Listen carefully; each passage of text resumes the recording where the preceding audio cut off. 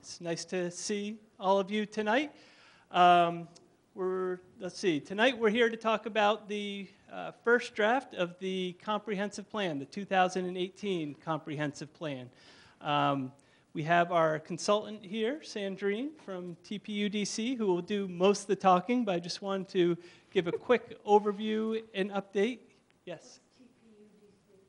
Town Planning and Urban Design Collaborative. Sorry, it's a long, I know. I keep trying to tell the guy who started this thing to shorten that, but.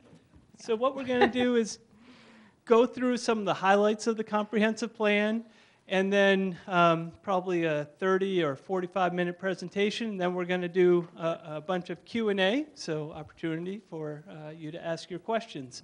Um, one of the things that uh, sort of kicking off to, to bear in mind with a, with a comprehensive plan, this is one of the few times where a town develops a document that isn't necessarily prescriptive. We're not getting ready to move dirt. We're not ready to sort of necessarily say this is how much funding is going to cost for these ideas.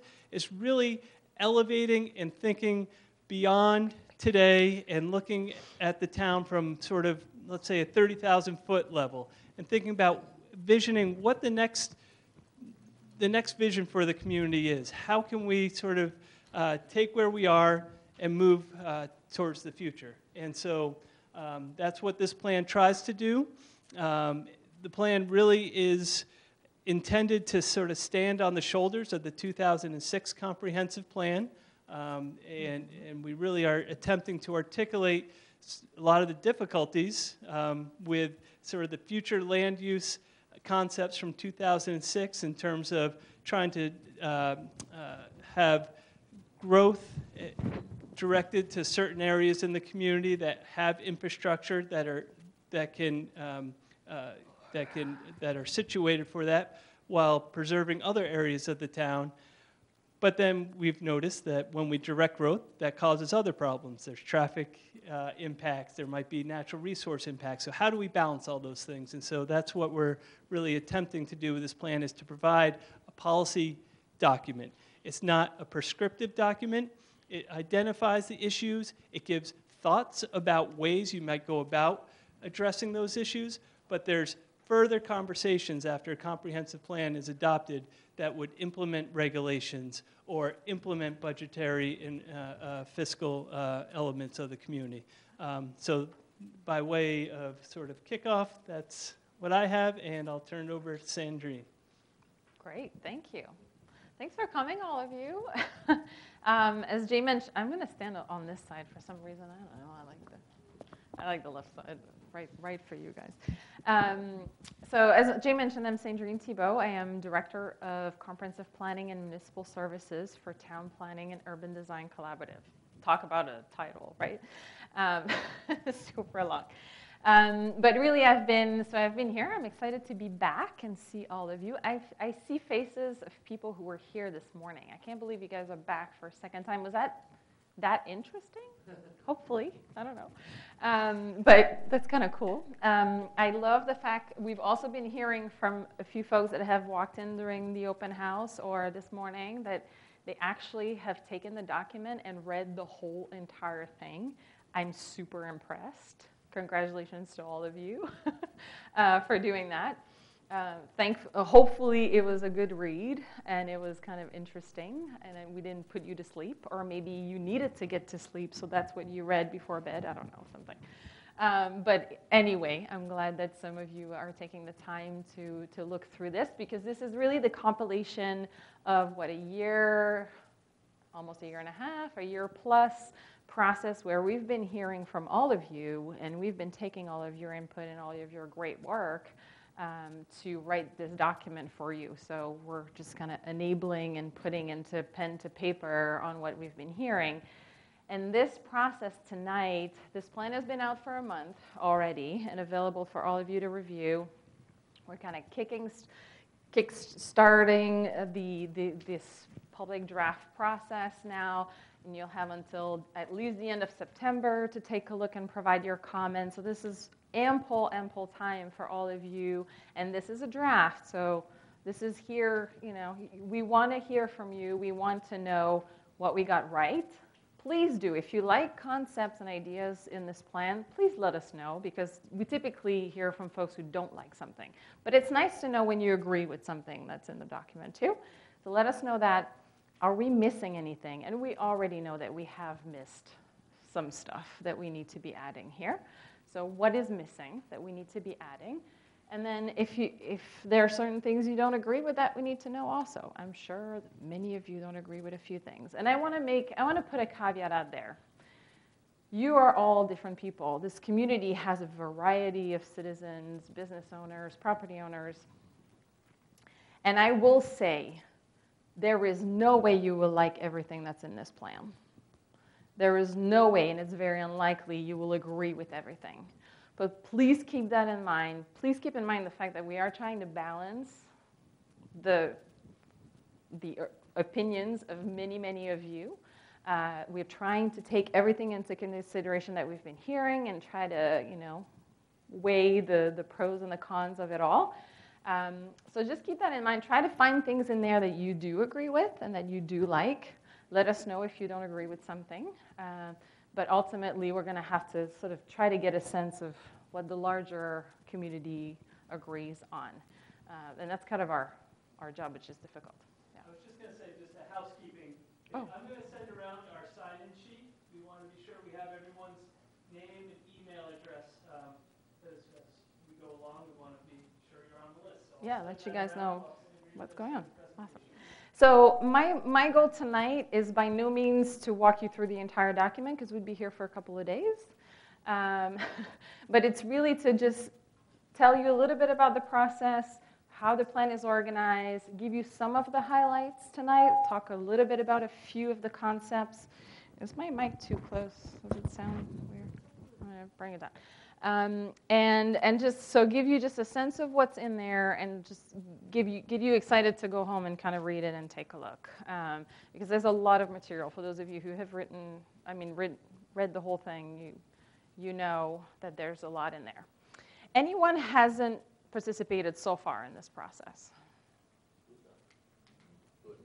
Who has not been to any of our events so far? Great, I'm glad we have some new faces. That's awesome. Um, anyone, uh, so the rest of you have, I guess. I don't have to ask the question. But, um, so just a quick reminder for those of you who haven't participated so far. Uh, what is a comprehensive plan? So and Jay talked about that a little bit um, in his introdu introduction um, tonight. Uh, but uh, the comprehensive plan is, it's, so it's a long-range document. It's thinking 10, 20, 30. I mean, some of these things here are probably 50 years out. Um, but it's, it's sort of, let's dream big. Let's have this vision for the community and how we want Bedford to continue to evolve. Did I say Bedford? I was in Bedford last night. I'm so sorry. This is a long day. I've been up since 6 o'clock this morning. at least I didn't say city yet. That's going to be another one. I'll say city at some point. Sorry. Scarborough. My apologies. Thank you. Oh my gosh. I, am all red, right? Probably. Okay. Um, so how you want that Scarborough to, um, to continue to, to evolve over time. I think we all understand that change will happen. Change, change has been happening over time, right? For those of you who have been here for 20 years, Scarborough wasn't, this, wasn't what it is today 20 years ago. Um, so this is a wonderful process because you do get a chance to be proactive and talk as a community about how you want this change to continue to occur. And you can be proactive about it and not have to react when you, know, you have proposals coming in um, and all of that. So it's also a document that provides guidance uh, for all of your town boards and committees and the town council and, and your town staff as they make decisions um, you know, on kind of a daily basis. Uh, and it provides guidance for not only growth and development, but for conservation also, you know, to make sure that you preserve the marsh and that you keep those wonderful open spaces and agricultural lands and forest land that you have in the community. And it contains a whole series of actions and strategies and recommendations to help you implement that vision that we talk about in this document that you've all art- articulated during this process. So the comprehensive plan really sits kind of in the middle of it all. And think about it as the big umbrella uh, that then a lot of other studies and documents and your annual budget and your capital improvement plan sort of fall under. So, and your zoning regulations and subdivision regulations, all of these should follow the guidance that is set in the town comprehensive plan. And you need a comprehensive plan in order to be able to have zoning regulations in place and all that per state law. So that's something that you, that you have to have in place and update on a regular basis. So just to remind you a little bit about the process, for those of you who've participated or those of you who are kind of new. So we kick-started this process back in May of 2017. Uh, I was here with my colleague Brian at the time. We had a wonderful turnout actually in this, in this exact room. And we talked about the project a little bit, what was coming, and started hearing some feedback about um, what you know people had aspirations, saw as challenges uh, here in Scarborough, and different issues like that. Uh, then staff had a whole series of Imagine the Future meetings also. So they went to various neighborhoods and talked to folks there as well. Again, sort of just hearing input, ideas, what people thought, and we've gathered all of that. We've been using all of that as we go along. Then in September, we were back in town with our whole entire team of consultants, and we had, you know, a transportation person here, and we had uh, other planners and some designers and all of that in town. And we were here for, what, four, four and a half days, three and a half days? I can't remember how long. it was a while back. But we had tons of different events and, and meetings on various topics like transportation and housing and, I mean, you, you name it. So that was a lot of gathering of information that we did again um, during that time these are just some of the photos from some of the events. So that's some of the closing sessions. So these are some of the topical meetings that we had. Um, and all of that was pretty well attended. So after the Planapalooza, then a lot of your committees in town got to work. So you guys, you guys have a lot of committees. I think that was one thing that struck us when we started working in Scarborough. so you guys have a lot of committees, which is wonderful because that means a lot of you are really involved in the community. Um, so a lot of the committees got to work and sort of prepared, you know, statements and or recommendations or various things like that that um, that they thought was important and, and ought to be included in this document as long as it kind of related to what we talk about in the comprehensive plan. So we got a lot of that information in the fall and through winter. So we gathered all of that. So that was a lot of information that we got from all of you from the different committees. And that's what we've been using to write this document uh, for you. That's really based on things we've been hearing. And some of our you know, expertise also on, on a few topics, but, but mainly really on what we've been hearing from all of you. Um, and so that's why if we've missed anything, please tell us and let us know. Um, so just a reminder that this is a draft document, which means it will have more iteration, which means you have a say so on the next iteration of this document. And this is why I'm here today. We know there are things missing that we'll be adding. We'll be adding an executive summary, which we don't have in the document right now. We'll be adding more information on the library because I don't know how, but somehow it got left out of there. Um, you know, and that always happens. I was reading a novel the other day that got published millions of copies. It's a French author from Paris. This is super well known. And I kid you not, in this thick of a novel, I probably found myself, which I'm not a grammar person, but I probably found 50 to 60 grammar errors in there. So we have grammar issues, we know. there will be some stuff. Hopefully we'll fix a lot of that as also as we go. And we all proofread it too, you know, Jay and Karen and myself. And, but hey, we always miss stuff like that, so we'll fix that. Um, so. Um, so quickly, just a little bit on how the, the document is organized. So there's an introduction. We talk a little bit about the, pub, the public process, all those meetings and events that we've been having and how many people's attended and all that. We have a little bit on the town history, which was always kind of interesting to look back. And it was great because this morning during the presentation, you know, we'll talk about that drawing with the two lanes showing on Route 1 in a second. Um, I know we will. Um, but someone said, well, it used to be that way. So it's kind of cool to look at the history to see where we came from from a long time ago, and then where are we going from there um, into the future too. So we have a little bit of that. The community vision is really a set of guiding principles that I'll touch on a little bit more in a minute. The state of affairs, that is sort of existing conditions. That's on population and housing and economic development and all of that. What is today, what is Scarborough today? So that's the state of affairs, that, that's section. So if that's what you're interested in, go read that section. The plan framework is where we start, uh, this is your future land use map. This is the, what we call the conservation and growth map. So that's where it's, we're saying these areas here ought to be conserved and preserved the way they are. Growth ought to be concentrated in these various areas. Um, so that's where we start talking about um, these concepts a little bit. So that's gets to the meat of it a little bit for me anyway. That's kind of where um, you get a little bit more interesting. The section that's called Livable and Resilient Scarborough, that's where you'll find all of these action items and strategies and recommendations that I talked to you that I mentioned earlier. Um, so that's also a big piece of kind of the, the meaty stuff of how do we implement that vision that we set with the guiding principles and all those wonderful ideas on how the town can move forward. And there's a lot of stuff in there.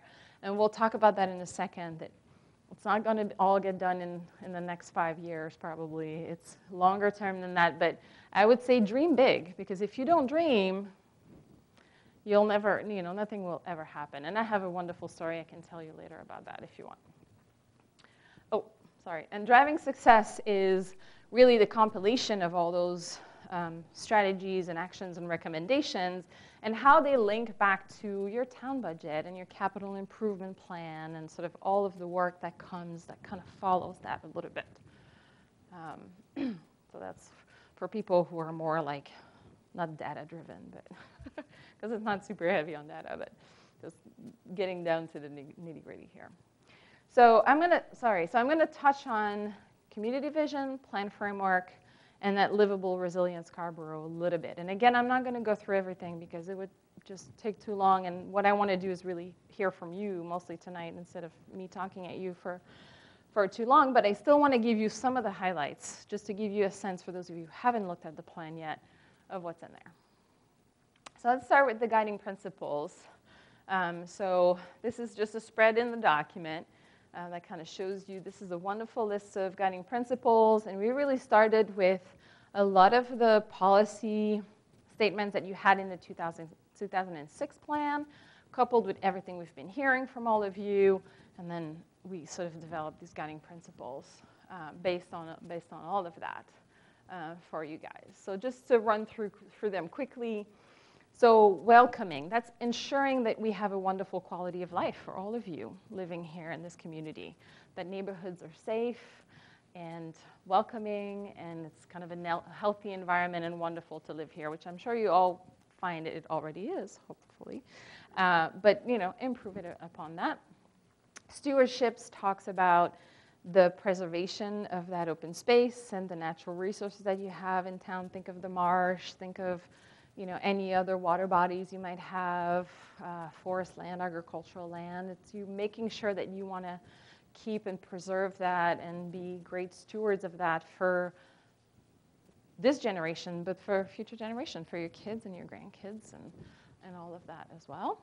Um, authentic is really creating a sense of place uh, for Scarborough. That's something we, we heard a little bit from all of you that, you know, you it doesn't, Scarborough doesn't have an identifiable Scarborough. It doesn't have something where people come here and they're like, oh, this cool place is Scarborough. Uh, you know, often communities have a little town center that are very recognizable.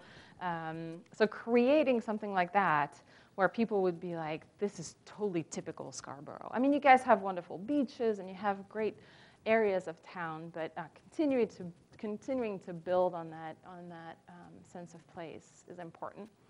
Connection is all about building a resilient transportation system that accommodates and gives choices to all types of users. Uh, we all drive cars. I do, actually, I don't have a car, but I live in Montreal, so that's different. Um, but I do drive. I drove here. I mean, I do drive on a regular basis still. Um, but I also bike and I also like to walk. Um, so making sure that there are accommodations for other modes and transit too for those people who would like to take the bus. That's an interesting issue with the low density of population you have here. But anyway, connected is all about that and making sure that you have a connected street network that provides people with various opportunities to get to places and not have to go just kind of one way, which we found it exacerbate, ah, increases traffic. Sorry, it's been a long day. Um, healthy is uh, maintaining, again, your wonderful natural areas and beaches and public spaces that you have, um, and uh, providing all of the amenities for you all to have a healthy, um, sort of healthy life so that you can recreate as you want and, and need to, and make sure that there are great connections with your trail systems and all of that. Um, Vibrant is all about economic development, making sure that you keep the businesses that you already have, and you have a lot of wonderful, wonderful uh, enterprise here in Scarborough, you know, with the medical field and all of that, you name it. Um, so making sure that you keep these businesses here, but that you also provide for opportunities for new businesses to come in because that helps your tax base, right? That helps create jobs um, and all that. So you want to be making sure that you do that while keeping the town very attractive to everyone, including resident, um, of course. Fiscally responsible is all about maintaining a balanced budget, making sure your taxes are staying stable. I know taxes is a sore subject here, um, but making sure that you're growing in a responsible and sustainable fashion so that you can keep your taxes stable, if not lower them, if that's even possible, I don't know. Um, I'm not a financial expert, but um, you get the idea.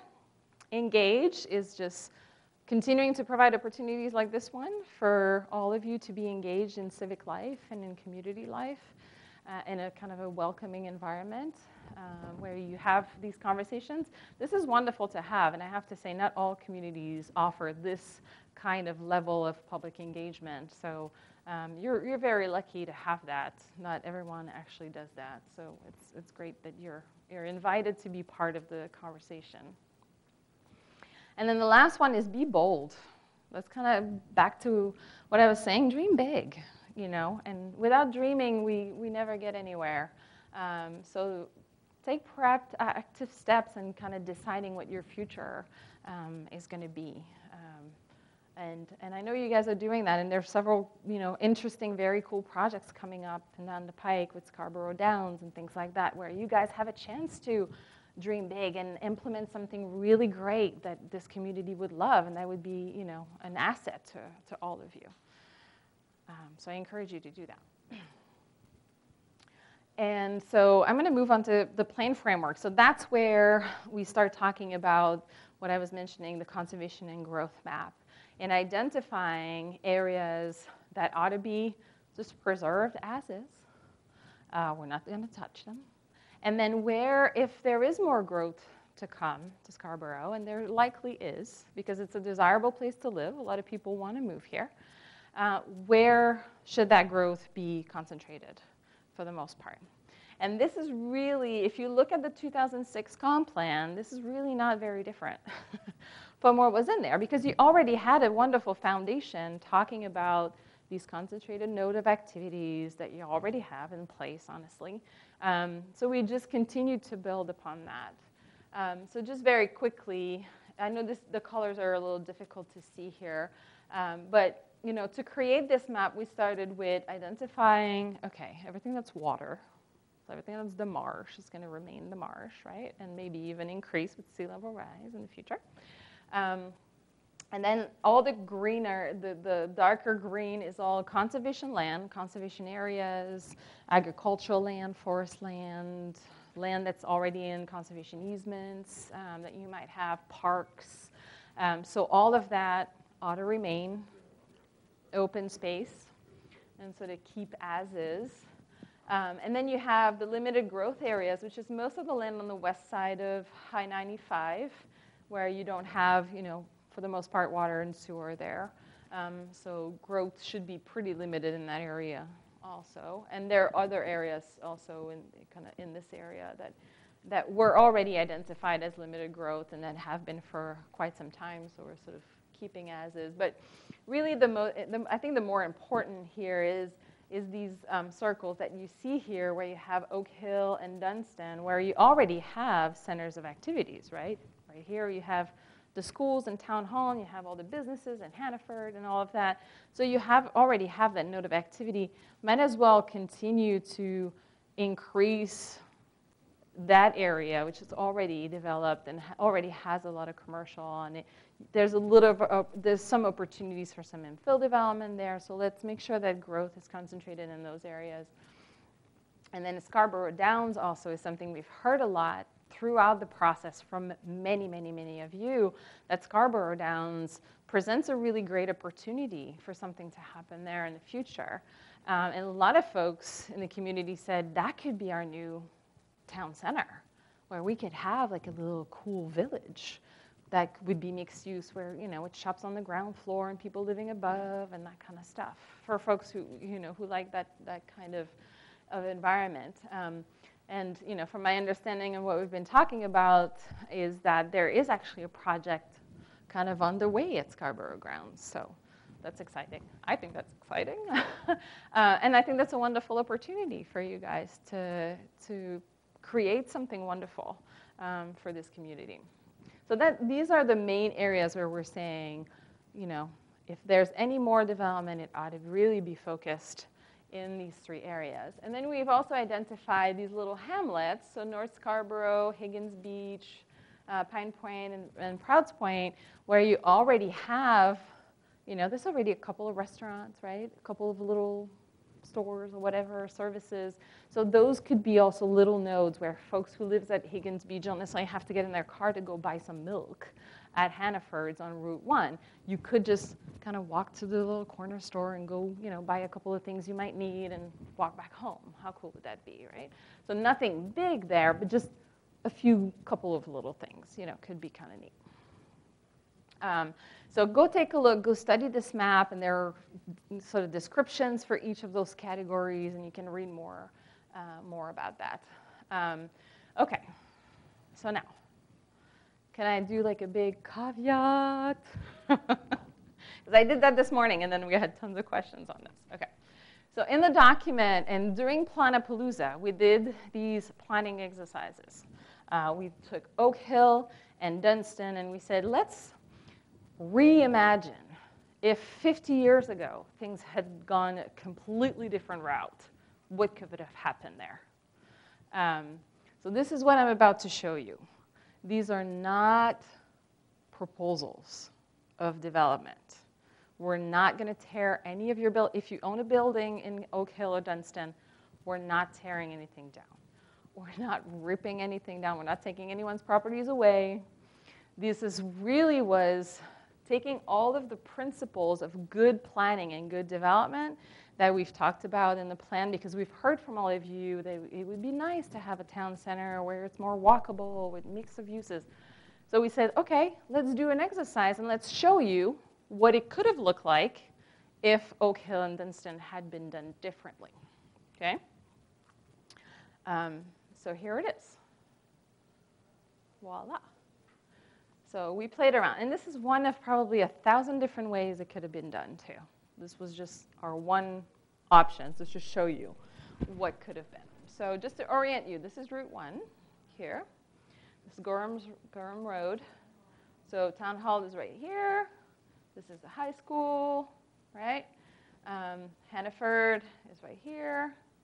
Um, so what this shows is what if there was a real network of streets connecting all through here and across Gorham Road, where this would be, you know, more mixed use with retail restaurants on the first floor, maybe office residential on the upper floors. You could have created a little town common where you could have gathering and events and festivals or whatever that would have, you know, cafes or whatever that you guys can walk around. Keep the Hannaford, put the parking in the back of it. Still plenty of parking for it, but kind of hidden in the back. And then you get up north a little bit and you get into, actually that's not north, north is this way, but uh, up this picture. And, um, and you get into some, you know, townhouses and row houses type of living, and then you get into duplexes, and then you get into single family on larger lots and all of that. So you get the idea. You get from more intense kind of mixed use to more intense residential and then lower intensity residential also.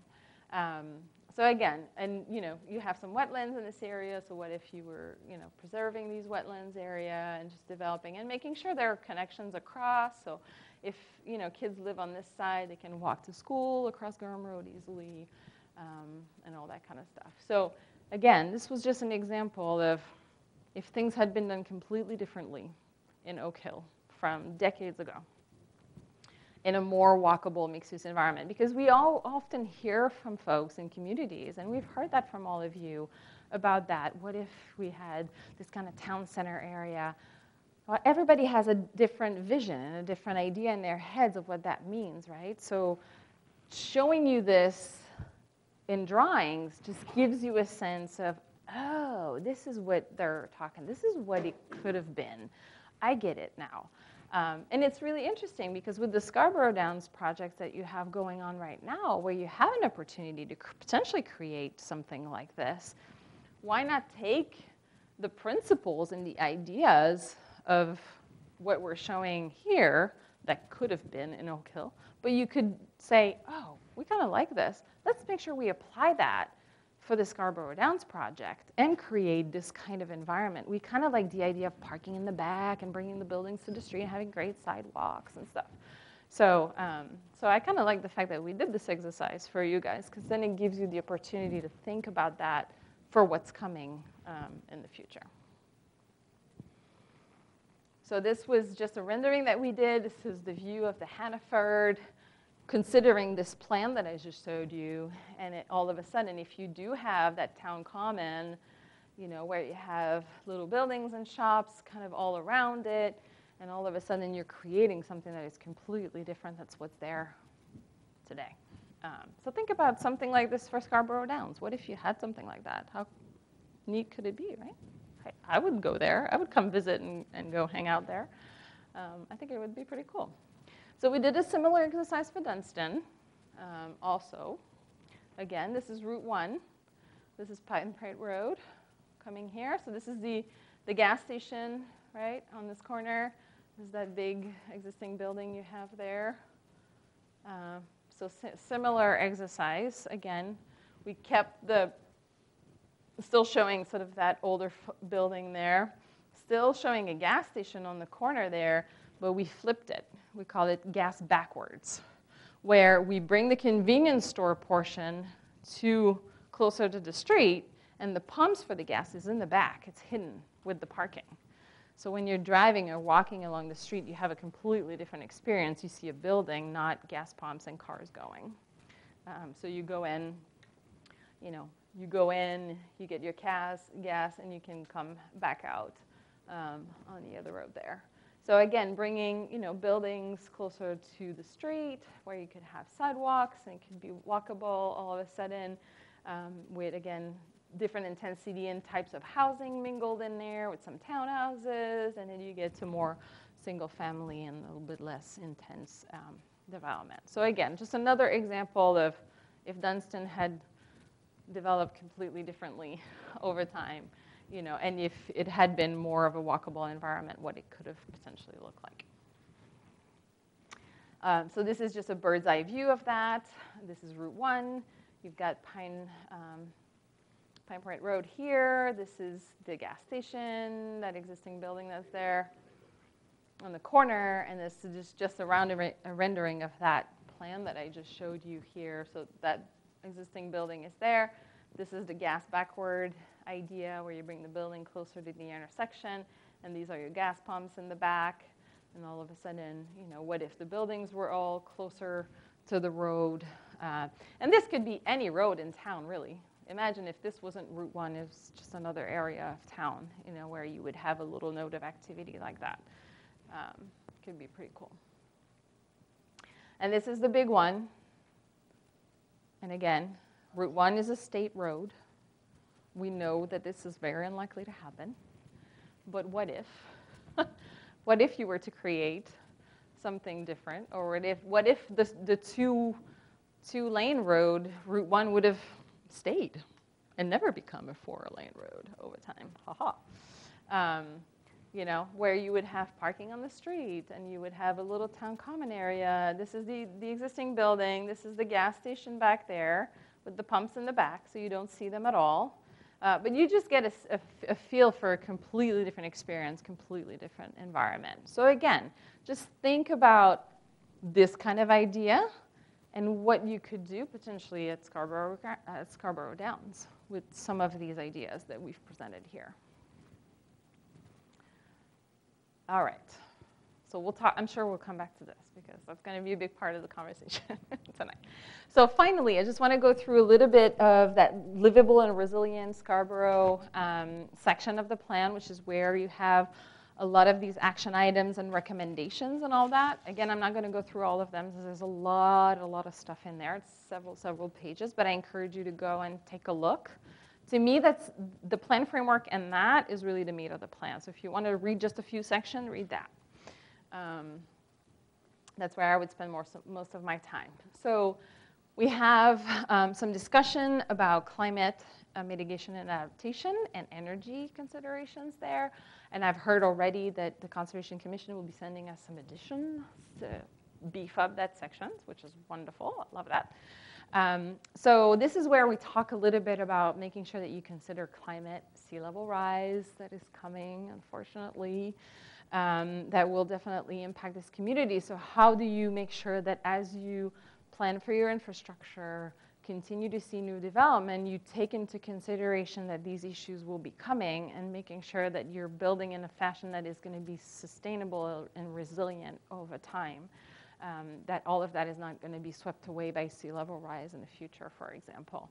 Um, it also talks about energy efficiency in buildings, uh, making sure that your carbon footprint is a little lower, um, and that, you know, it talks about some waste initiatives, um, so on and so forth.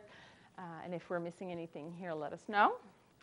Economy and job, economy and jobs is all about as I mentioned earlier, making sure that you preserve and keep the businesses you have here, but also provide opportunities and, and kind of welcome new businesses to come here.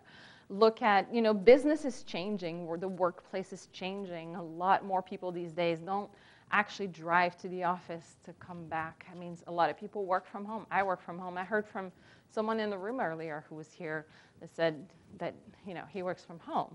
And a lot of multi-million dollar businesses are run from homes from people's couches these days. So make sure you allow for home-based businesses.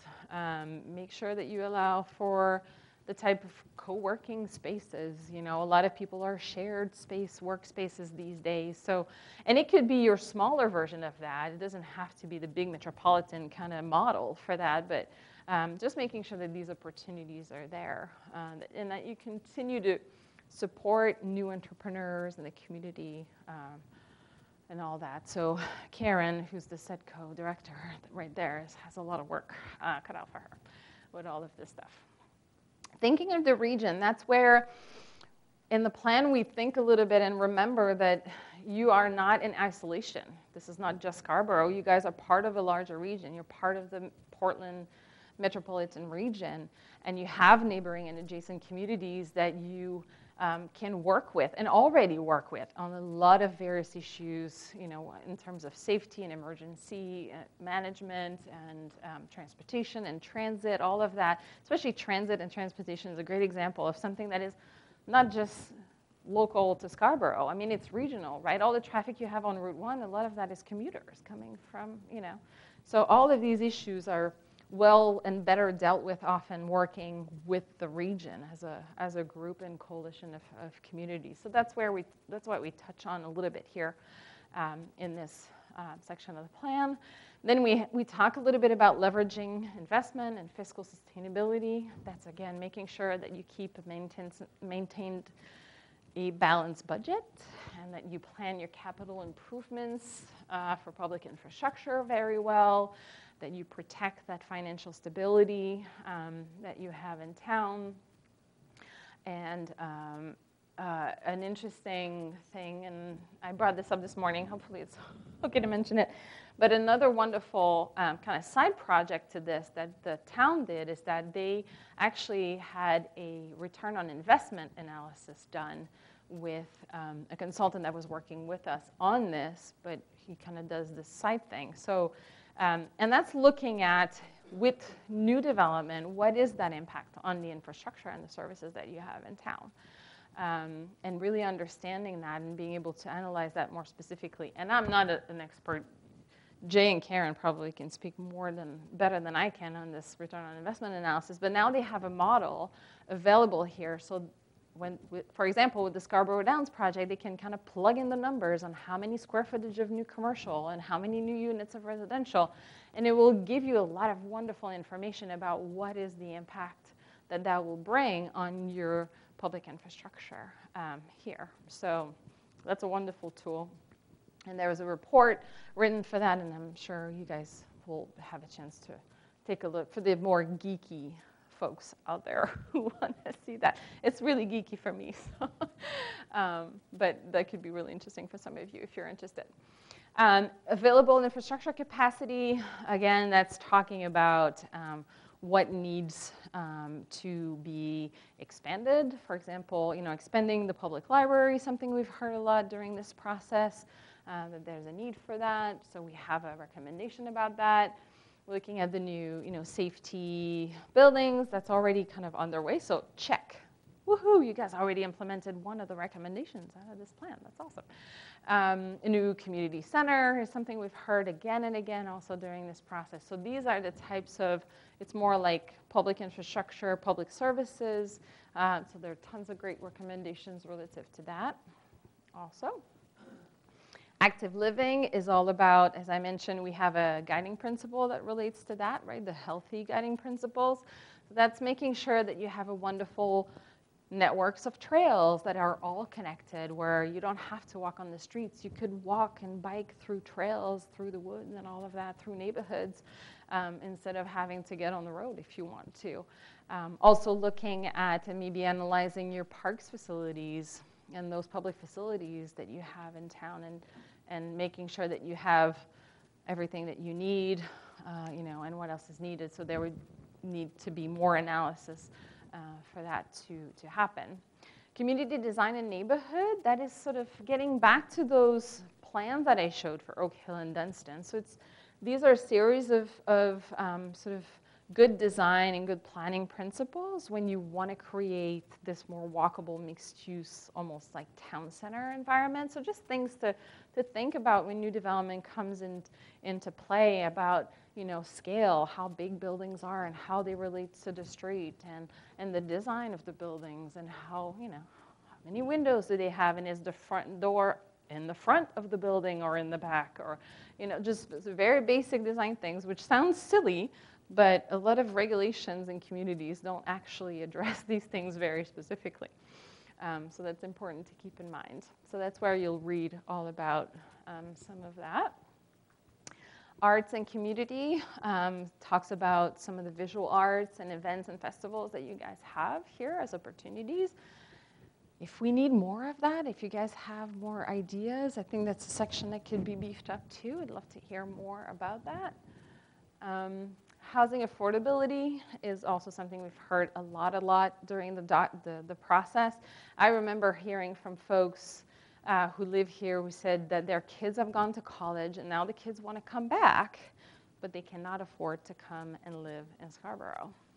There's one, not a lot of supplies in sort of smaller units, maybe apartment types or townhouses or duplexes or whatever um, that they can afford. So they're not able to come here and move here, which is unfortunate because you want that new blood of people, especially if they've grown up here and they want to come back in their community. wouldn't it be wonderful to keep them here? Um, and then as we have an aging population, and you guys are pretty old town, sorry to say, but I mean, you know, as we all age, wouldn't you want to be able to stay within the community? If you want to get out of your house at some point and downsize, maybe you want to stay in your house and that's wonderful, but maybe you do want to downsize because you the kids are gone and you'd rather stay in something that requires less maintenance, making sure that that type of housing is also available and affordable for you to stay here where you've lived for a long time. Um, so this is what this section sort of talks about and starts recommending and um, a few things along those lines here. And I think this is the last one, um, which is, pertains to transportation. You guys already have a complete streets policy here in Scarborough, which is wonderful. And that is, again, talks about trying as much as possible to accommodate multiple modes of transportation cars, bikes, pedestrians, transit, all of that. Not necessarily accommodate all modes everywhere, but where it does make sense to provide those amenities for those of you who love biking and walking. You know, we all drive, but it's nice to get out in other ways sometimes. Um, so providing a really a, a connected network of streets and providing those uh, amenities and facilities for other modes of transportation aside from the car is where we talk about that. All right, that was a lot, right? um, I'm almost done, and then I'll turn it over to you guys. Um, so just a few quick things, just so you all know. So as I mentioned earlier, the plan, this draft, this first public draft has been out for about a month already, and it will be available uh, for another month and a half. Um, so it's been, you know, it's been announced and it's been posted at several places. Uh, it's available for download if you guys want to read it on your computer or print it. I know the town might be, if you ask very nicely, they might print you a copy. I don't know. Um, if you rather read it on paper, but it's available in various places. There's a hard copy at the library. Uh, I'm sure you could borrow a hard copy from Jay or Karen or whoever for a little while if that's how you prefer to read it. I encourage you to go to the website, scarboroughengage.org. This is kind of the project website where a lot of that um, is housed right now. And if you go there, you can download the whole document. But we also broke it down by section for you. So all the sections that I was talking about, introduction, public process, plan framework, all that, it's also broken down. So if you want to read just one piece of that, you can just download that little portion and print that or read it on your computer or whatever. And there's capabilities right there to provide your comments also. So you can do that in various ways, but I really encourage you as much as possible, if you can, if you have online capabilities, to provide your comments there you know, one thing we've been trying to do with this process is to keep this conversation very open and not keep any information from anyone. So I love it when people comment on the website because then the next person, their neighbors, can go on the website and see their comments. And then we can start having a discussion a little bit about people's comments and people's reaction to the document. And that's very helpful for us and for staff also, and for the long range planning committee who is working on this, um, to just get a sense of, you know, when people comment on something, is it something that a lot of people agree with, or is it just this one person that has that, you know, that gave that feedback or something? So it's, it's just really helpful. Um, so there's been um, some outreach already, and there will be more. Uh, so there was the survey that was out at the library in different places. It's been online on several websites and all that. You guys have gotten more than 500 responses, which I have to say, I know somebody commented this morning that it's not a big percentage of the population, but it's actually a really good response rate, I have to say. I've seen places where it's been nowhere near that. And I think you can definitely get some really good information out of that and start to see some good trends when you have several hundred people like that uh, responding. So we're here today with the open house. Um, so this is just one more opportunity. Staff is going to be going around in September to different neighborhoods and doing similar meetings to this one also for more opportunities for people to hear about this and give their comments and their feedback. And then this plan is also being reviewed by a lot of the town committees. So if you can attend one of the committee meetings, feel free to do that. They're all open to the public, and you can definitely go and talk to the committee about that if it's a specific issue you have. Provide your comments there um, also. And the long range um, planning committee is where all of the comments and the information is going to sort of culminate, and staff is going to work through that with the committee, and they're going to sort of figure out what changes will ultimately be made to, to this um, public draft. So you have until the end of September to provide your comments. So I think that's plenty of time. I know many of you have read the whole thing already, so that's awesome. Obviously, you can read it pretty quickly.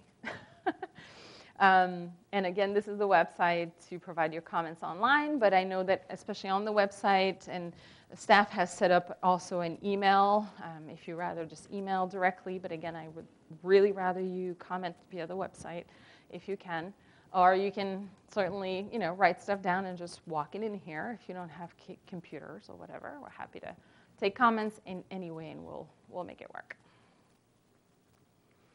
Um, and this is kind of what I was mentioning a little bit. So the, the, all the different committees are going to be sending their comments and taking all of your comments and sending all of that to the long range planning committee. Um, and so they're doing their review and all that through fall. Um, then we're going to make changes to this draft. We're going to bring back a final draft. It's still draft, but it's going to be what we call a final draft um, to all of you guys. And then that's going to start going through the actual sort of official review and approval and adoption process with the planning board and the town council. And there will be more opportunities, again, for you to participate and give feedback. But hopefully by then we'll have it right because you guys will all tell us what you think now, right? And we'll make changes and you're all going to love the plan and this thing's going to be adopted, right? Um, so that's just the gist of it. So just a few things. So remember that we want to hear what you like about it. Please do tell us if you like certain ideas in there, concepts, recommendations, and you're like, woohoo, I love this. Tell us, let us know. Um, anything missing? We know we've missed some stuff. So what's missing in there? It's, sometimes it's harder to figure that out because it's missing. but I'm sure some of you will think of some stuff. And then um, if you don't agree with something, tell us. We need to know also. All right? And that's it for me. Mic drop. Um, So we and I'm going to open it up. Go.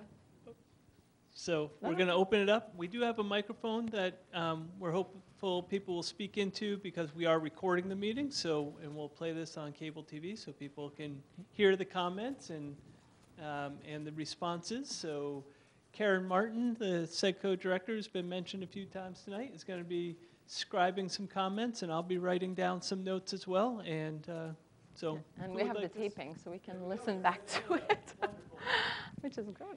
What exactly is the Scarborough Downs project, and what is its status at this point, and how does it relate to the plan? I'm going to let one of these two talk about that because that's sort of ongoing. And Hi. Uh, So the Scarborough Downs uh, was sold uh, in early this year, in January, and so it was sold to the um, uh, the Risbara and the Michauds. It was a, a new new partnership that was developed. So they are local uh, business owners, and they uh, live here as well. So they bought the Downs and have been working toward um, really uh, designing a master plan for the entire area. And w- the planning board has been working through um, really the infrastructure master plan at this point. Correct, Jay? Yes. So they have a, an approval for the infrastructure plan, and now they're working uh, through different pods, different phases of development. So their first pod is at the planning board, and then last night to the council there was a workshop, and they talked about the entire uh, proposal. You know what they're really planning on doing, and they are planning on doing several of the types of things that have been described here.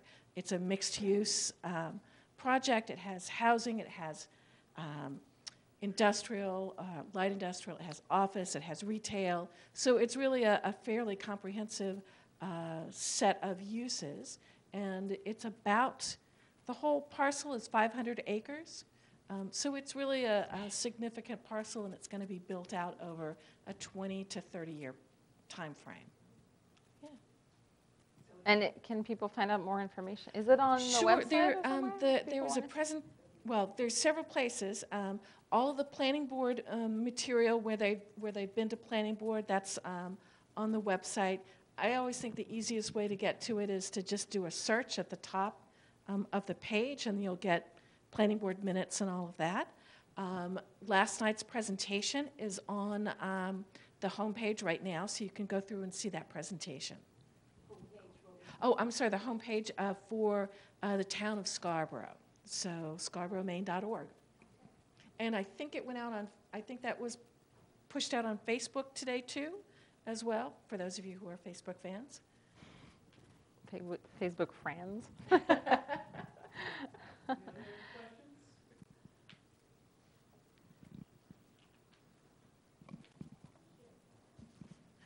Susan Thompson, Higgins Beach.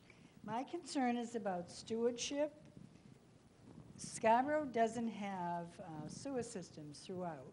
So many of the homes that are built on the marsh in Scarborough near me have septic tanks that are over 60 years old. I bought a house with one. There is no test. There's nothing from the town to keep these up to date.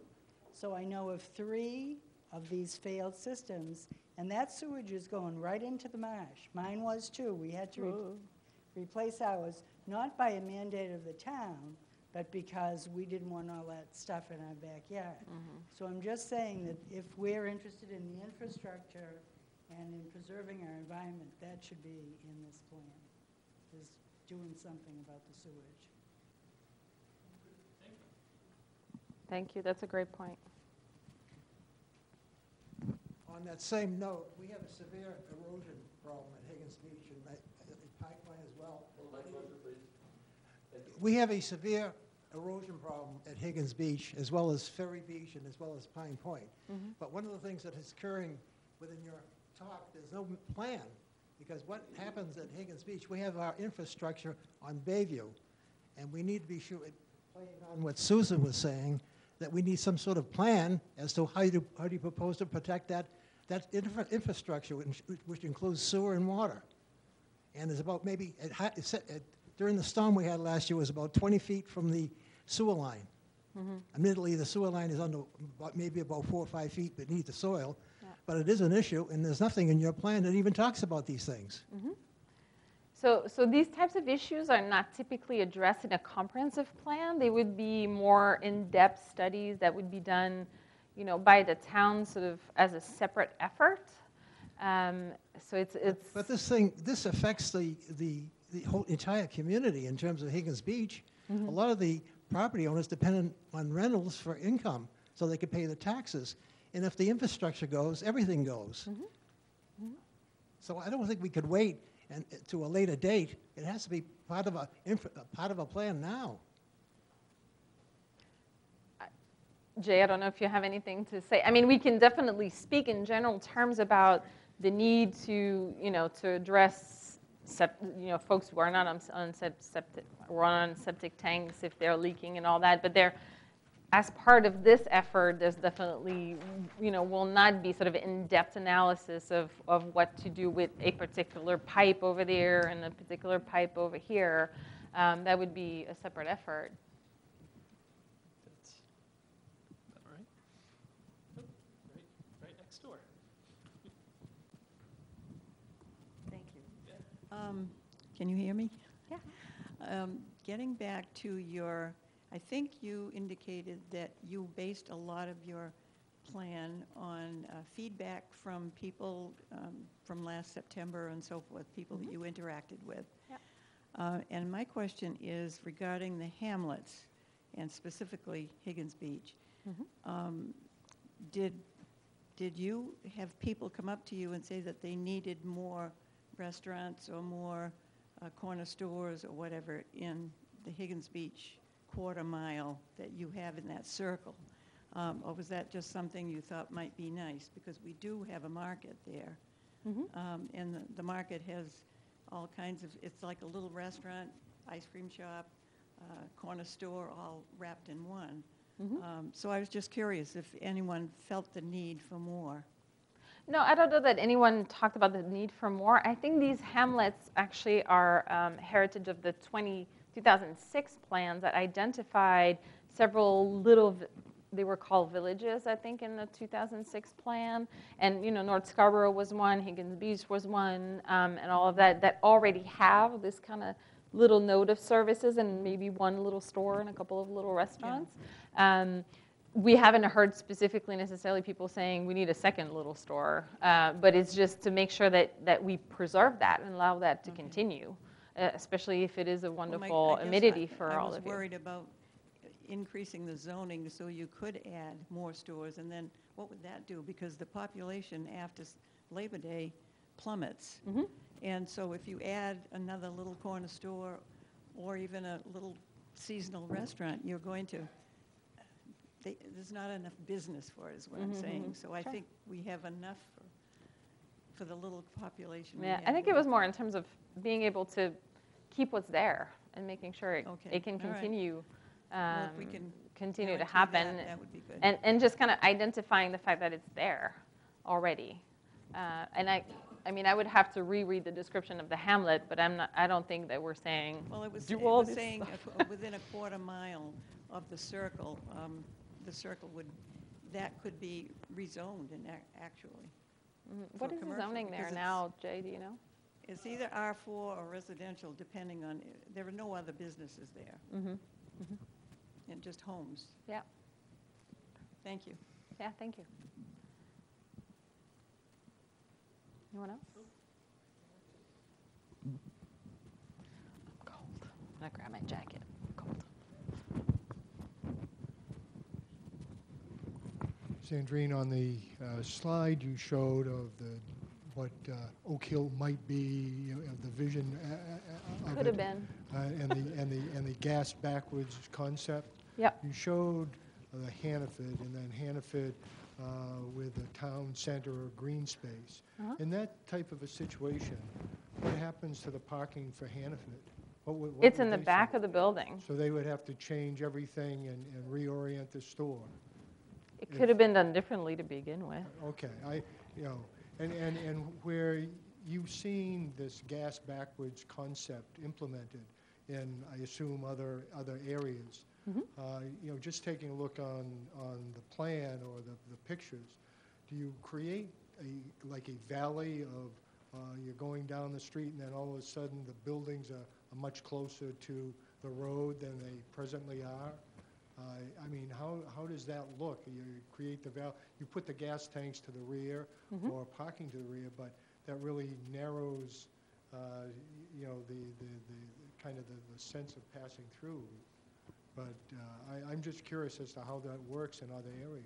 Yeah. So s- communities around the countries have been kind of implementing these types of, you know, more walkable and bringing buildings closer to the street and all that. And it does several things. It one is more welcoming for the pedestrians because all of a sudden you're walking along slower, slower. It slows traffic down. Um, you know, when you add, when you take a road and you add on street parking, all of a sudden you're slowing traffic down. So it slows traffic down. It creates a, a, a more inviting environment for the pedestrian. Think about it. When you go, I'm sure you all go downtown Portland, right? Sometimes you go walk around. And why is it great to walk around there? Because you have a wide sidewalk, and right next to you are shops and coffee, you know, and you, you can see through, and you see in the coffee shops and in the restaurants and in the stores, right? You have the retail on the first floor there, and often there's on-street parking. So for communities who want to create kind of this, um, this environment, bringing the buildings closer to the street, hiding the parking in the back really helps you create that more inviting, walkable environment and kind of town center or downtown feel.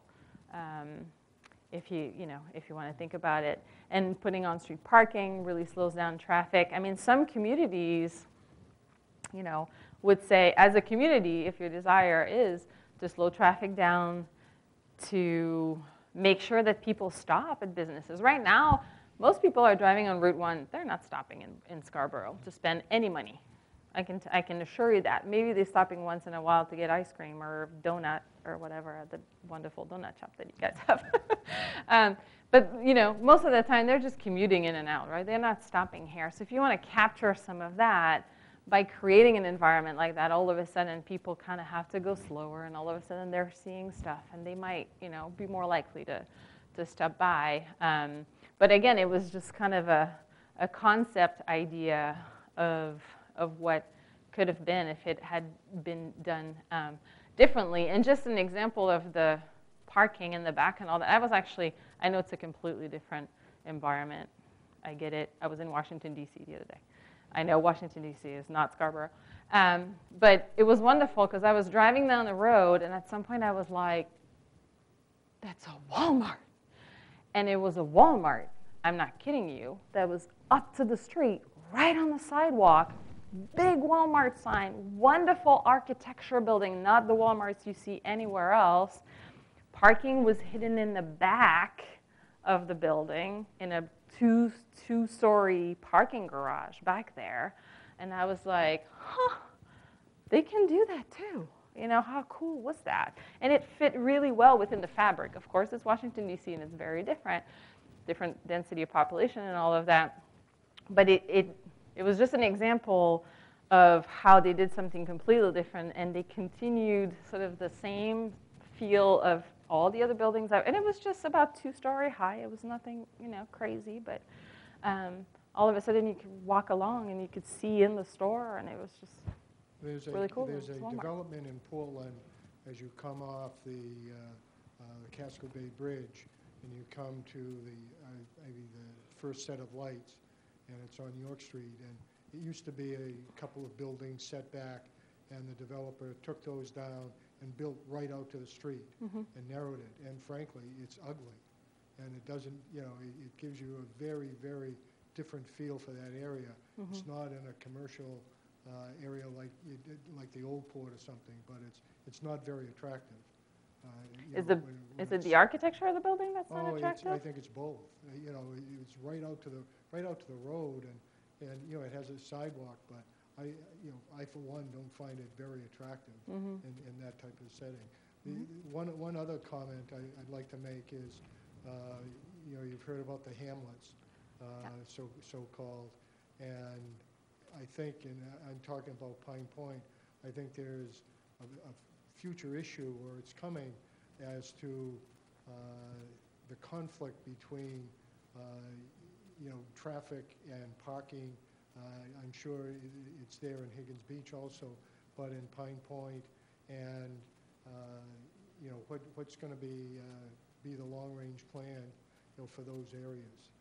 And it's not really, really addressed in, uh, I, I mean, I really haven't read the plan, the draft plan very uh, uh, closely, but most of what I see around, uh, uh, you know, for Pine Point is a picture, an aerial photo saying, you know, this area is, is dangerous because of sea level rise, or the slog recommendations, which, uh, you know, that, that's about it. But for livability aspects of, uh, in those hamlets is the, the amount of traffic uh, in there, uh, kind of the, the controlling of it, uh, the parking versus uh, the conflict with, with uh, bike riding and parking. So, uh, you know, I, I, I think maybe some look at uh, what might the conflicts be uh, as, you know, going down the road for, for these hamlets. Mm -hmm. Yeah, thank you, that's a good point. So are you saying that we shouldn't call that a hamlet? Okay.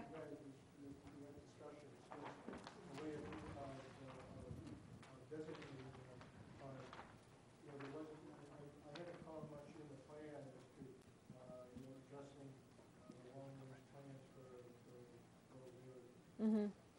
Okay. Hi. Um, it- It's apparent that um, the Scarborough Downs project is going to be a big part of our future, and, uh, and I love the idea of the, uh, the uh, center of town concept. Um, Is there, that being the case, is, it's going to be a major development, and, and we talk about uh, creating a model community, Scarborough setting standards, being a model for other communities, and within it, the Downs project would obviously play a big role. Um, So um, Is there any planning at this point in time, uh, any kind of energy plan for it uh, that, uh, you know, will see to it that it has a, uh, uh, uh, an energy plan that uh, designs in lots of um, renewable energy? For instance, uh, solar orientation, or is this uh, um, um, infrastructure plan already laid out with square grids that don't take solar in- infrastructure uh, orientation into consideration, thereby radically re- reducing the amount of uh, renewable capacity that the community would have. I'm gonna let you guys. try to address some of that. Um, So just to relate back to the comprehensive plan, doesn't lay anything out specifically for the downs. Um, I think where the comprehensive plan could talk about those type of elements is, is that a, a, a direction the town wants to go? And I think that's where we've asked, you know, our, our friends at the Energy Committee, Conservation Committee, to, to review uh, the provisions and, and statements that are in here, and, and are we setting the right policy direction? That's what the comp plan is going to do. It's not going to tell the Downs what to do, it's going to help us set the policy direction. Now, I can try to answer some of the Downs question by saying, um, I haven't, um, there really hasn't been much discussion about solar orientation specifically, um, but that doesn't mean that's not part of the plan. That's not just one of the town's regulatory standards at this point. But I do think, again, what I'd like to circle back to is that the comprehensive plan is the document that would plant the seed that would say, you know, this is something we should care about. And then we all ag- agree or disagree, talk about it, get it in the comprehensive plan, then there's future conversation about what does that mean and what does that look like exactly in terms of regulatory discussion. I think it's very similar to maybe the discussion we're just having with regards to scaling and massing. When we talk about buildings close to the street and oriented to the street, does that mean six-story buildings right on the sidewalk? Or does it mean two-story buildings 15, 20, 30 feet setback from the road? So it's about scaling and massing and sort of taking the, the general concepts, the, the design parameters and policies that are laid out in the comp plan, and then uh, establishing with, through further conversation and, and more rigorous debate around what do the details mean. Um, So I hope that helps in a couple of different ways. I'm going to come right here. I promised you, and I almost forgot. Well, I don't know whether anyone can answer this question or not, but I was just wondering, apparently the last comp plan was in 2006, so we're doing one now 12 years later. Um, I guess the question is, why now? And I was just wondering, how have we done with the last one? And what was left over to do that might still be That's a, helpful that's a great one? question. I can tell you that they're updating it now per state statute. The state requires municipalities to update their comp plans every 12 years. Kind of have to do it.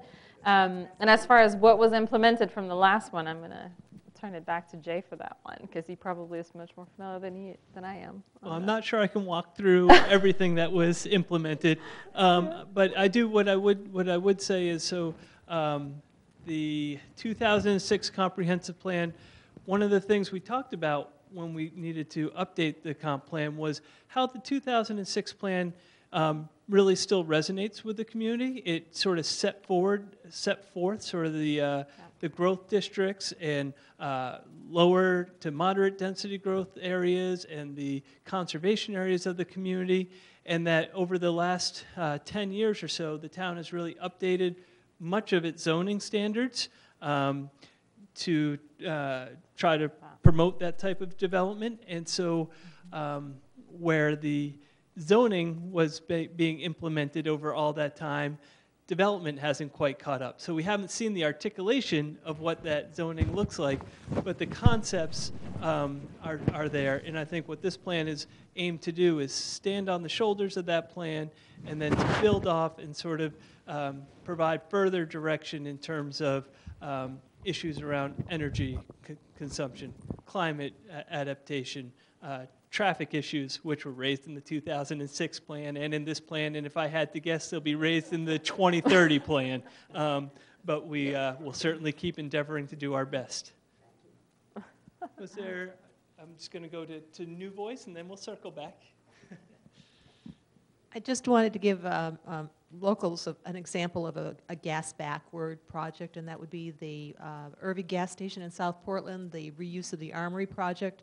They uh, created the gas station at the back of the Armory, put the green space at the front with picnic benches and areas to sit for the people who are buying food at the cafe inside the gas station. It's a lovely setup. It also is a calming influence. It's a, an incredibly busy intersection there, and the way they created the open plaza at the front is a really great uh, gift to the eyes, and, and trying to um, determine where you go with traffic in that area is really chaotic. And so again, that just that moment of respite in front of the armory was a, was a really great project. So uh, that's a gas backwards. It's an Irving? I'm going to look it up. It's an Irving gas station. They Google Earth. reused a, a National Guard armory. Uh, and put the, ar- the gas station at the back and the armory spaces. Upstairs is a commercial enterprise and then the first floor is a, a cafe, um, quick, Wonderful. quick mart kind So of go, setup. go take, I, I hate to tell you to drive to add more cars on the road, but go take a look when you get a chance. Um, I, I have uh, actually read through the whole plan, and I think that the great strength of the plan is that it's, it is very readable. Um, You can get through it, and it's got pictures and, um, however, uh, the cover has got to go. Um, Having the bait I shed love on that there- photo. That's a great lunch place. I'm sorry, lunch it may be a great place to eat, but in terms of what, what that is doing to the neighborhood um, down in Pine Point, the, the, the amount of traffic that, there's a couple of new places that are open longer, and um, right across the street, the house came up for sale, two houses away has come up for sale. It is, um, it is really changing the character of the neighborhood, so. We're not all, I mean, I, I love to eat there, I like the food, but um, uh, not really, you know, I don't live next door to it. Um, I am very worried about um, how the 2006 plan was very specific. It was very detailed. It, um, there were policy recommendations that were like A13, B1, you know, I mean, it was so detailed. Um, And then there were um, implementation, there was a timetable. There was an implementation plan that, that um, was very specific about zoning that needed to be changed. And the town took it step by step and implemented a lot of the, the zoning changes. So I, it's unclear to me, um, a lot of these objectives are very um, general to make something more walkable or more sustainable or, or more energy efficient. It's not specific enough, uh, and who's responsible for doing that? Uh, I mean, it's really hard to see how this plan will get implemented. Um, So, I, I, for example, with uh, the gas backwards or having development right up against the street, are we, is the town actually thinking at this point of any new development that's coming in on Route 1? um, It will mandate that the building will need to be right at the street and the parking will be in back. Um, Are we getting to that point, that we will start thinking about that? And, I mean, how is that going to be implemented? How is this, this plan going to be implemented? Because these plans, comprehensive plans, are important. And um, they do get, they get used um, as a legal defense for a town um, to be able to, if they're challenged on something, a decision that they've made, um, and how something either goes against the comprehensive plan or it's, and it's really hard for me to understand how this plan, the way it's written now, could be used. Because you could do almost anything and say that you're complying with the comprehensive plan. Um, Because maybe it did make something more walkable, or maybe it did, it, it's just, it's so general that um, it's, anyway, that's Mhm. my concern. Okay, thank you. I think that was, um, that's interesting that you comment on that, because I think that was actually part of the discussion at the beginning of this process, that um, you know, the town wanted a document that was more as aspirational and, and a little less dense in terms of all the, that detail that was in there. And looking at the 06 comp plan, when I see things like there ought to be, you know, 40 units per acre in this particular area, to me, that is zoning. That is not comprehensive plan. Um, these are the types of actual standards that you have in your subdivision regulations and zoning regulations. Um, so I was actually surprised to see that in the 2006 comp plan. I think that gets a little too nitty gritty in the detail. That's the kind of stuff that you want to do after. That being said, I think you do bring a good point, and there might be opportunities for a little bit more specificity.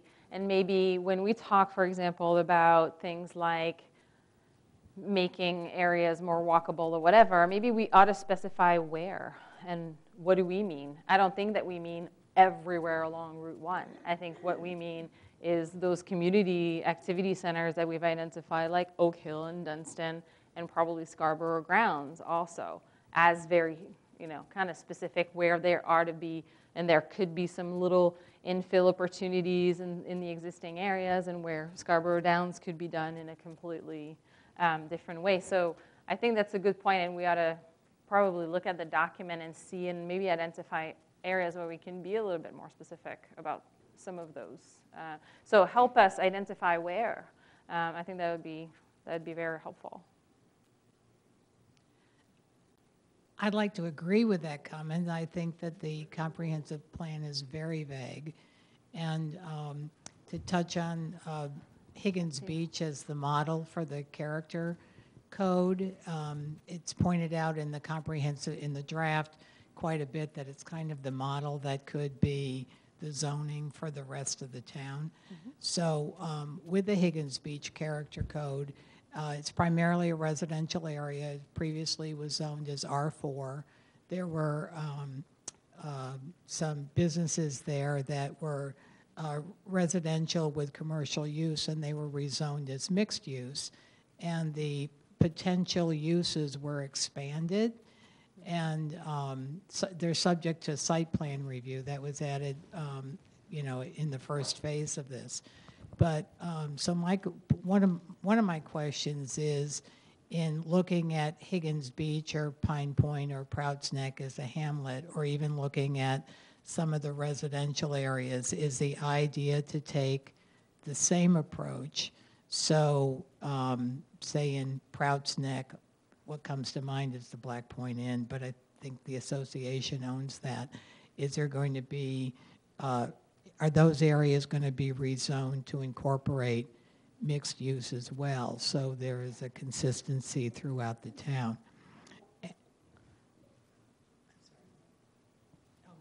I, I didn't say that. At Jay. I thought you had more. Yeah, and, and will the commercial businesses in these primarily residential areas that, you know, have traffic issues already be further developed to um, make them more commercial where maybe that's not so appropriate?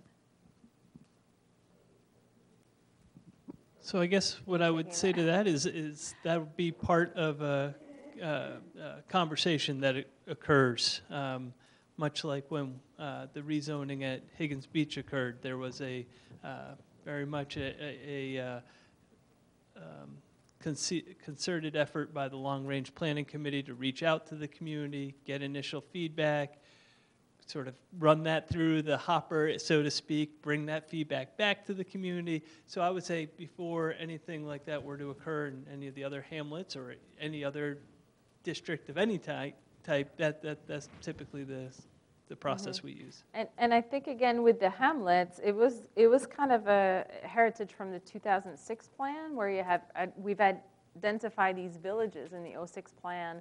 So we, that's why we're just calling them hamlets now and not villages.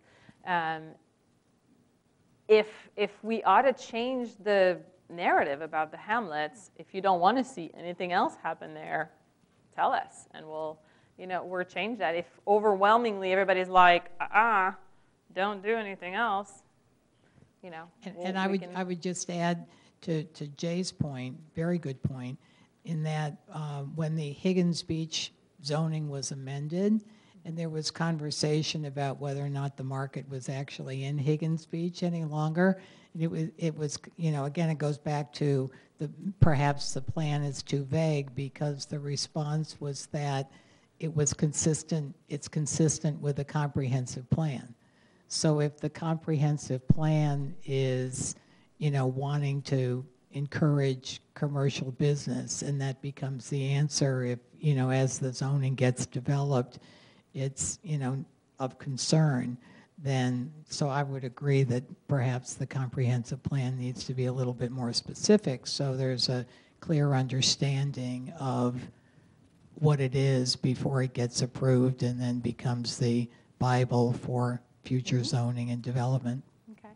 So what I would ask of you then is be specific in your comments um, back to us. So if you think there's specificity that needs to be added in language, let's say relative to the Hamlet, let us know exactly what you mean. Don't just say it needs to be more specific because we have no idea in what way you mean it needs to be more specific.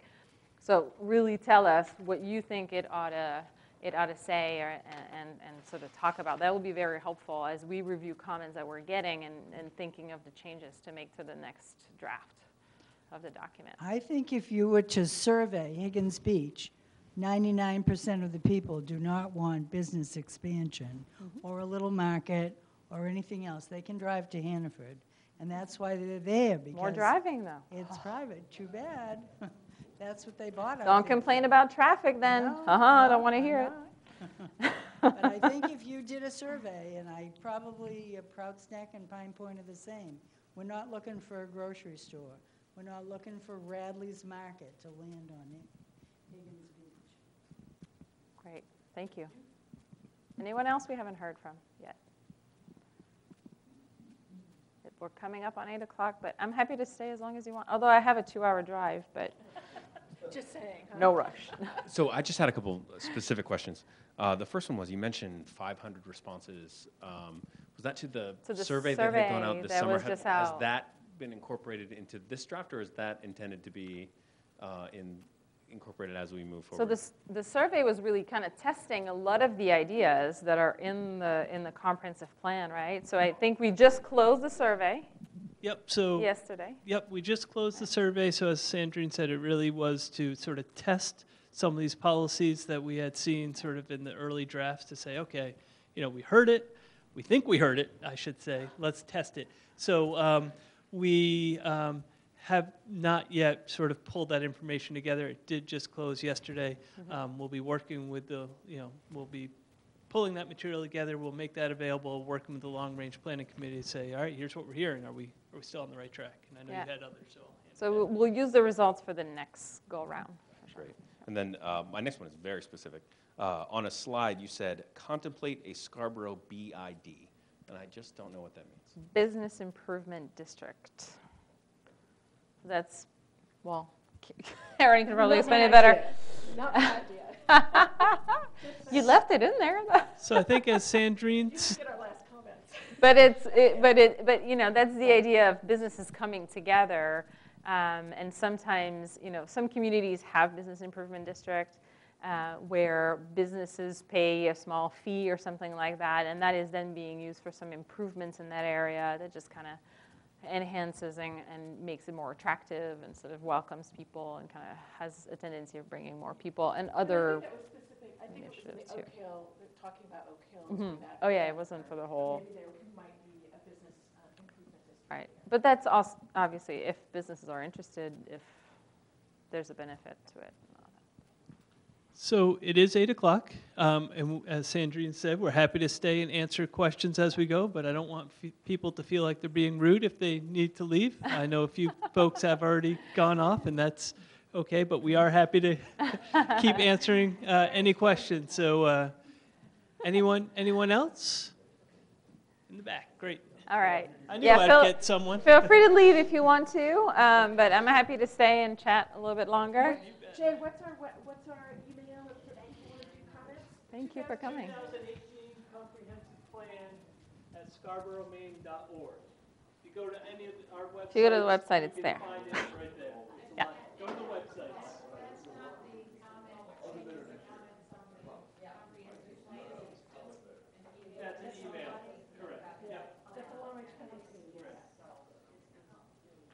Okay. Yes. Uh, My name's Paul Attardo. I live down on the Black Point Road. And a few thoughts and comments. First of all, I think you guys have done a tremendous amount of work here. And uh, it's very thorough, uh, and it's a great uh, piece of community engagement, too. So kudos to all of you who were involved in Thank that. Um, The other uh, couple of pieces that I'd like to just comment on is um, your movement towards, you know, sort of a new urbanism development of the town, I think is, should be commended. I think it's a great way to go.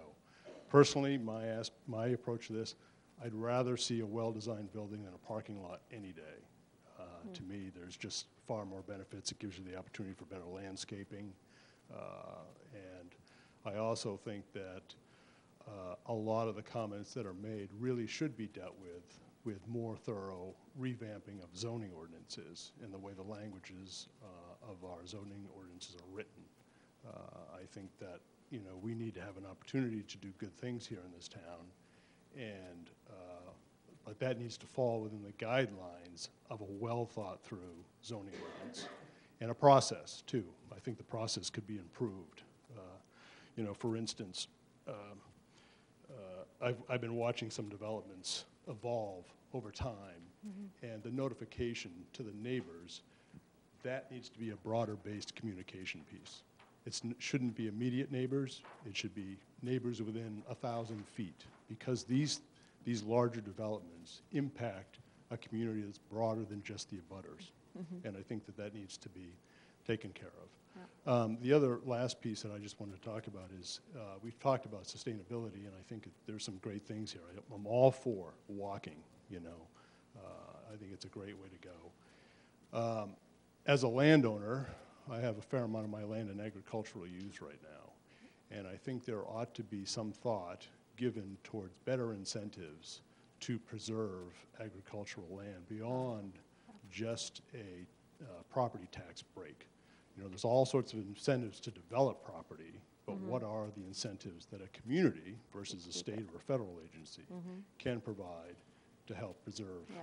uh, farm-based land?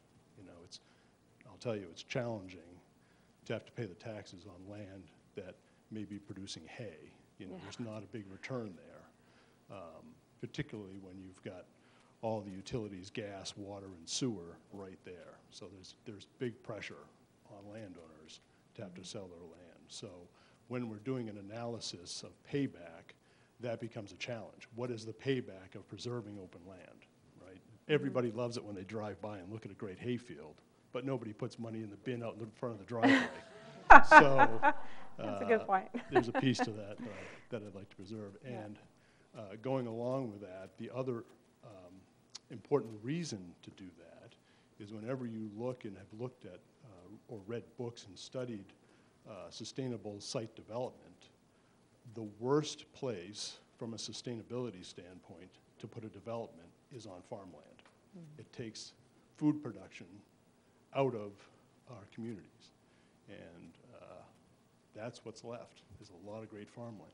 So hopefully, something like that, along with better language in the zoning ordinance, uh, can be worked into this program in some, some form or fashion. So, Yeah, those are great points. thank you for your time. Thank you.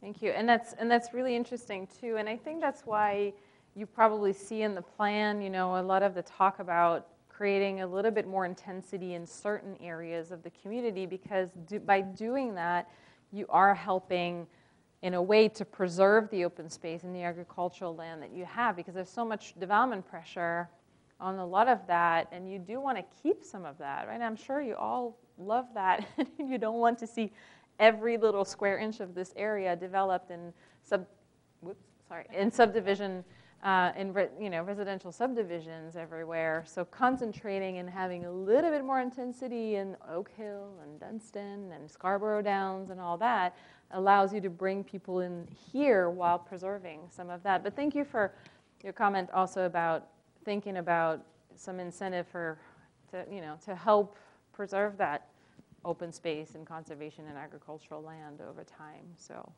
we'll definitely keep that one in mind. Thank you. Anyone else? I just, I would like to just make the point that um, I did a pretty detailed um, analysis or had a lot of comments. And I looked at the website. I didn't, I couldn't figure out where to send it, uh, so I sent, I sent it to Jay. And I think that um, just as you had a banner on the homepage um, saying that there's a survey available, you know, okay, got it. It would be, it would, I think you got to get the word out to people that if they want to make comments, um, there is a capability now that I just looked for it and I could, now I see where I could have, with each section, I could have added my comments right there. Mhm. And um, I just wasn't aware of that and I'm So you're saying putting it on the town website? on the town something- websites, or, Mhm. or s- s- figure out a way Mhm. to, to at least get the word out that um, here's where it is, because I couldn't find it, and Okay. I was looking. Yeah. Good point, thank you. We'll make sure we make that clearer for folks. If you go to the scarboroughengage.org website, you'll see different tiles on the homepage and one that, that says public draft. Click on that, and that will bring you to the page. And then if you scroll down, you'll see all the different sections of the document, introduction, public process, and all that. And there's a, you can comment right there. Uh, So that's where you should go. But yeah, we'll make that more clear, thank you. Anyone else? Thank you, All right. everybody. Thank you all for coming. Make sure you take a look, and please, again, provide us your comments, positive, negative. We want to hear it all. All right? Thank you so much. Yay!